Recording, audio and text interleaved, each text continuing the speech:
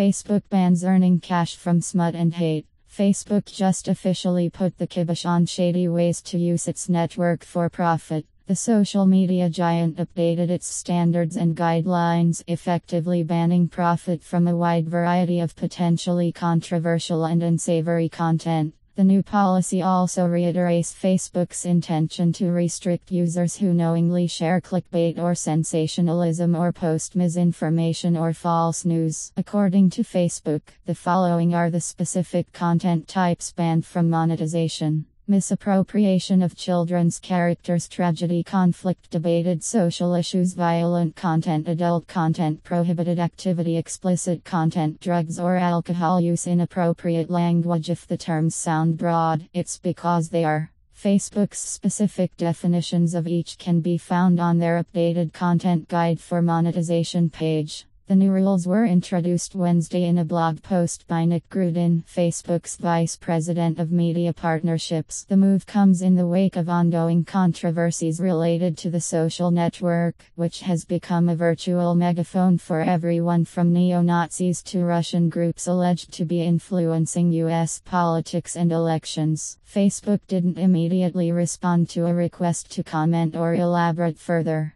This article was originally published on CNET based on the materials of the site.